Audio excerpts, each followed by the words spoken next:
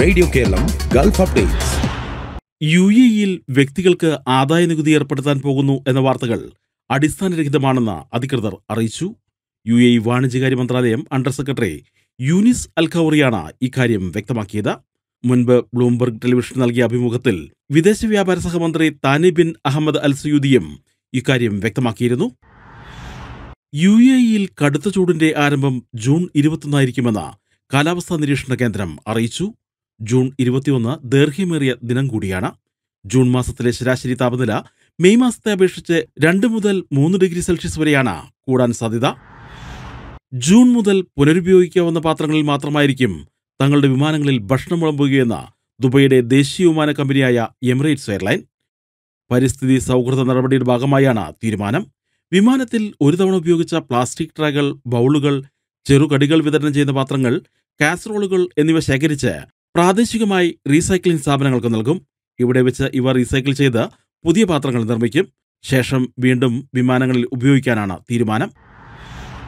ഗതാഗത സുരക്ഷാ രംഗത്ത് വിപ്ലവകരമായ മാറ്റം വാഗ്ദാനം ചെയ്യുന്ന ദുബായ് പോലീസിന്റെ സ്വയം നിയന്ത്രിത നിരീക്ഷണ വാഹനങ്ങൾ ഈ വർഷം അവസാനത്തോടെ നിരത്തിലെത്തും. ദുബായ് പോലീസിലെ സാങ്കേതിക വിദഗ്ധർ വികസിപ്പിച്ച എം പൂജ്യം ഒന്ന് എം പൂജ്യം രണ്ട് വാഹനങ്ങളാണ് പ്രവർത്തന സജ്ജമായിരിക്കുന്നത്. ഈ വർഷം അവസാനത്തിലോ അടുത്ത വർഷം ആദ്യത്തിലോ വാഹനം റോഡിലിറക്കാനാകുമെന്നാണ് കരുതുന്നത്.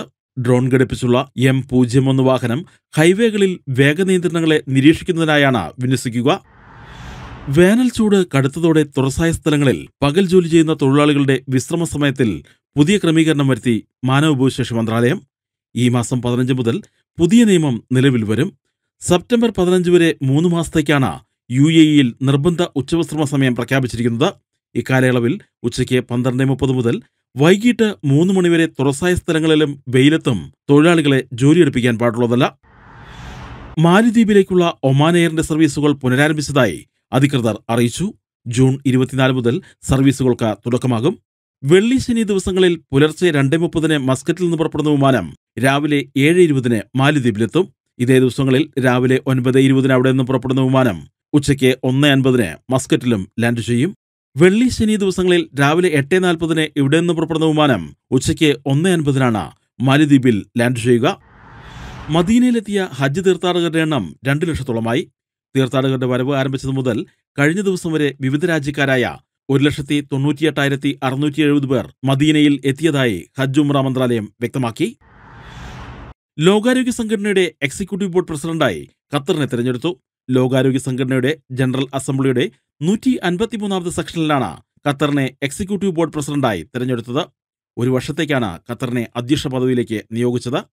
അന്താരാഷ്ട്ര തലത്തിൽ ആരോഗ്യരംഗത്ത് ഖത്തർ വഹിച്ച വലിയ പങ്കിനുള്ള അംഗരാജ്യങ്ങളുടെ അംഗീകാരവും എല്ലാവരുടെയും ആരോഗ്യവും ക്ഷേമവും പ്രോത്സാഹിപ്പിക്കുന്ന ദൗത്യം നിർവഹിക്കുന്നതിൽ ലോകാരോഗ്യ സംഘടനയ്ക്കുള്ള ഖത്തറിന്റെ ശക്തമായ പിന്തുണയുമാണ് തെരഞ്ഞെടുപ്പ്.